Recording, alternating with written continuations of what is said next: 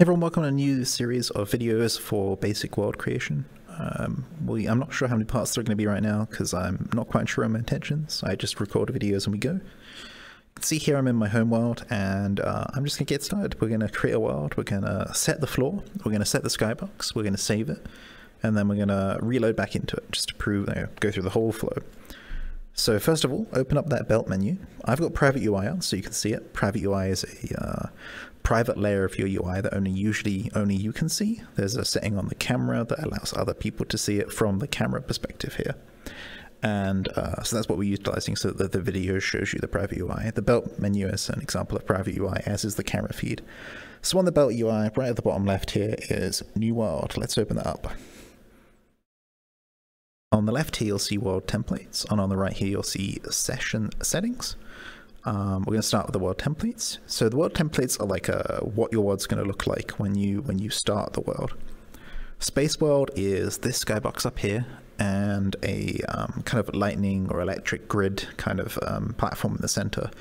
Your default local world and uh, home world will basically be a space world template. Basic empty is like that, but it's a default um, skybox and a white platform in the center. Grid space is uh, like this, where there's a grid that goes off into infinity, but it's not this color, it's like a solid grid. You'll see that in a moment.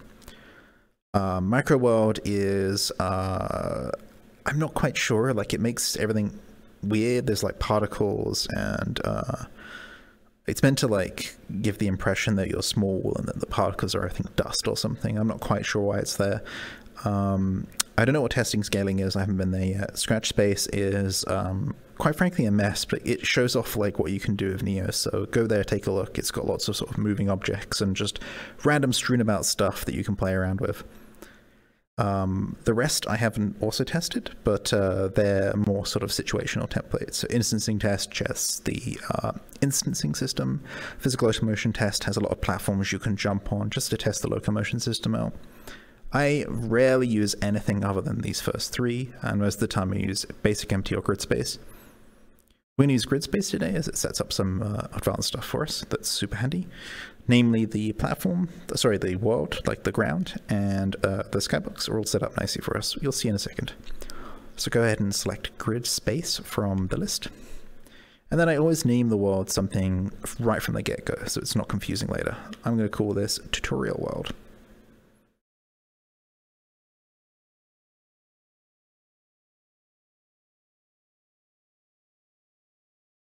And then here, I'm going to set this to nobody just because we're recording. You could build collaboratively, in which case just set it to any of the other access levels here. Let's hit go, and you'll see we're in the world. I'm going to close out my belt UI and walk around to these two panels that are here by default. This one on the left controls the ground. It's controlling the material that's applied to the ground. So if I were to go ahead and change the far color zero here to red, you'll see we get a nice red grid. We won't be using this because we're going to change up the floor texture almost immediately, so I'm going to go ahead and close it. This here is the gradient sky material inspector and it controls the skybox in the world. You can see right now that it's just uh, a base color of black and that's why the sky is black. If we add a gradient here and we specify a direction, which is the direction the gradient should go in, one in the Y is good. And then we say go from black to about there on the white. And we've got to turn up the transparency there. You'll see here we've now got a um, grey fade going on. We could also change this to say yellow. Now we've got a yellow fade going on. If we change the from and to, it'll just where the gradient starts. So right now the majority of the black part of the gradient is going on beneath the floor. So if we fly and go beneath, you'll see it's black. And so here we can say, hey, go from 0.2, and that should, maybe it's higher than that. Yep, it sure is. So 0.8, and there you go. You'll see we've got the kind of black ribbon coming down this way. We can flip this upside down. We'll just do negative one here.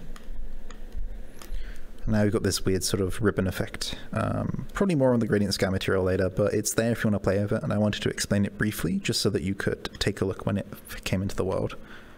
Um, what we're going to do now is just replace those instantly. So I've got private UI, so I'm going to open up my inventory.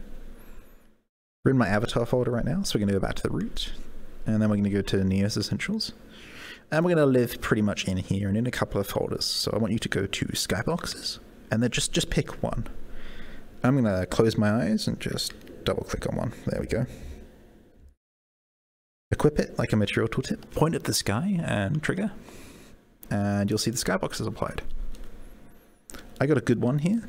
I could have ended up with something that looked a lot different, and it will inform the little tutorial world that we make. I could have got like a dark atmosphere, or we made it like a slightly spooky one, but we've got a nice, pleasant cloud sky. With the skybox set, go back to Neos Essentials, go to Materials, and then again, just pick one. Um, all of these are kind of valid. There are a few that are weirder than others. I'm going to go ahead and pick ground. I'm going to go into Dylan uh, Season, and I'm going to pick this one. I use this a lot.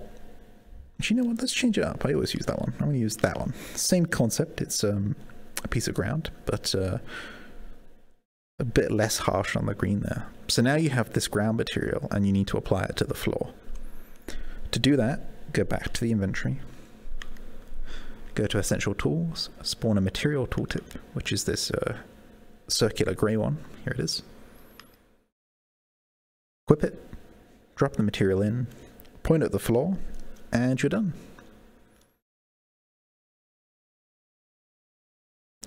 Let's go into fly mode, which we're in.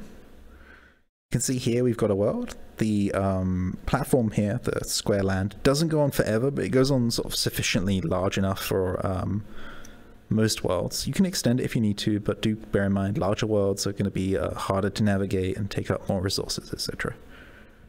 Um, you'll see here that the ground is kind of uh, patchy and you can see that there's a grid.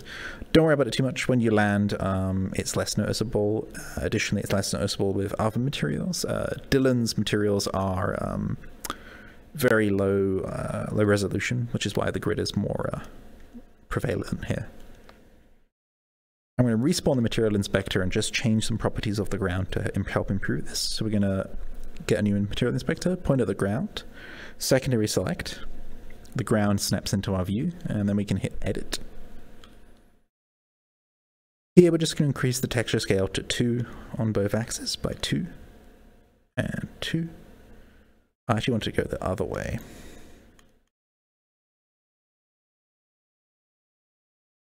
And now we kind of spread things out a bit.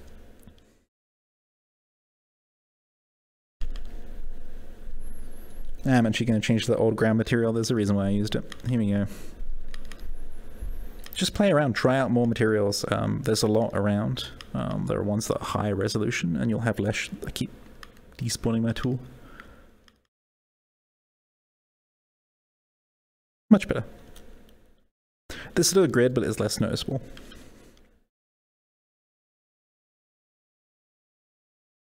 With that done, let's save this world so that we uh, can save our process uh, progress. So if you go to the belt menu again, and you go to the um, menu here, the second option that says save, hit save, and then do save as.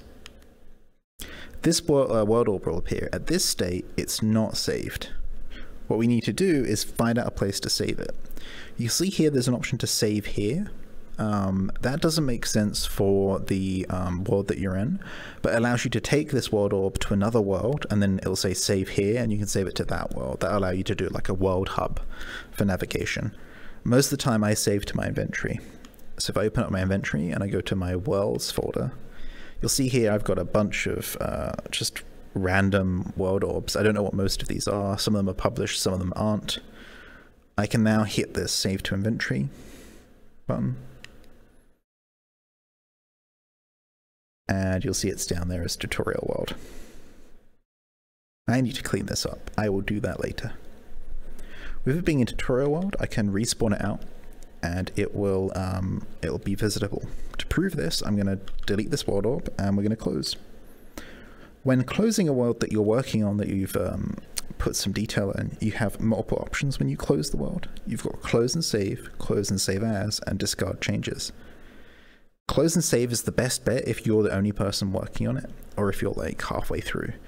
It will save and then immediately close. You know, everything's up to date. Close and save as will allow you to save it as a new world, and discard changes will get rid of your changes.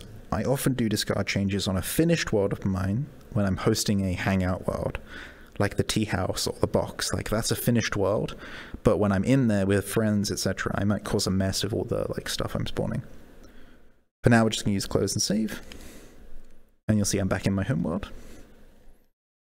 I go back to my inventory here, and I spawn out the tutorial world orb. I can now click it, open up the menu, start a session, set it back to private again, and hit start. And we're back here.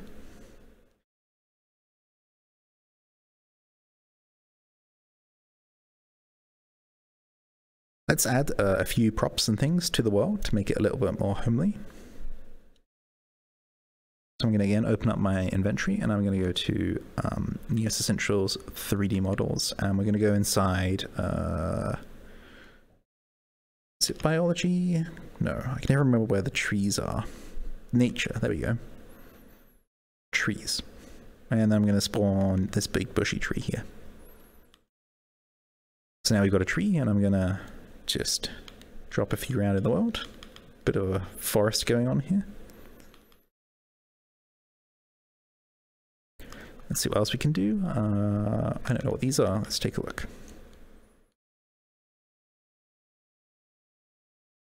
Uh, looks like we've got a patchy tree. You know, no no leaves or many branches. Um, and then we've got a slightly different type. This one's uh, like that's more like an evergreen. This one's more like a I don't know tree names, but whatever type of tree that is.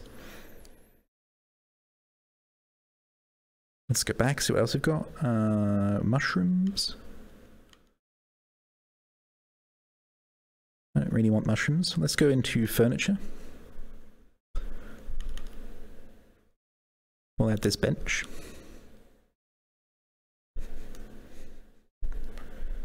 We'll put that in the world there. I'm to make it a little bit bigger. It's more like a picnic bench. There we go.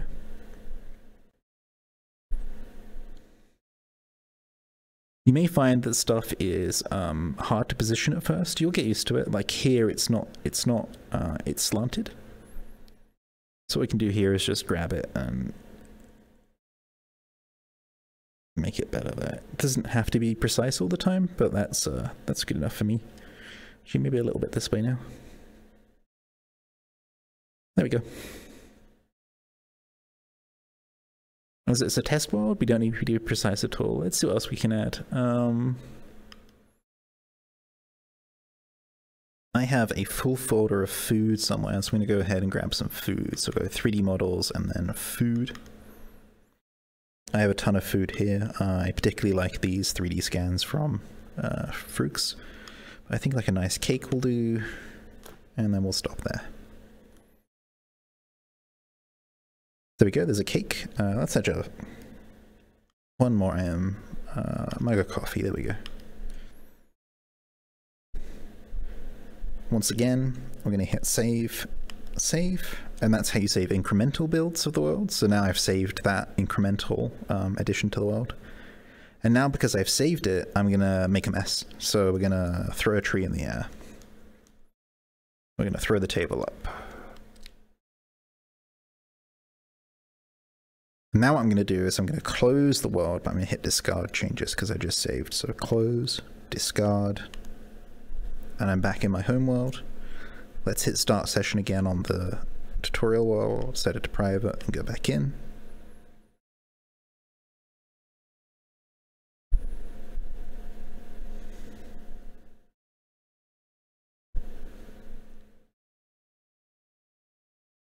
And here is our um, Here's a little table. I hope that proves how you can make a, a, simple world very quickly. The grid space with a skybox and a ground material makes it start feeling like your own world very quickly. You go from a kind of like desolate space to um, skyboxes and ground quite quickly. In the next tutorial, I'm going to go over spawn points, as uh, they deserve a video of their own. Um, that'll show you how to spawn. Like you noticed over there that we spawned the other side of the forest, so I had to fly through the forest to get to my picnic table here. Let's see if we can fix that next time. I'll see you then. Bye-bye.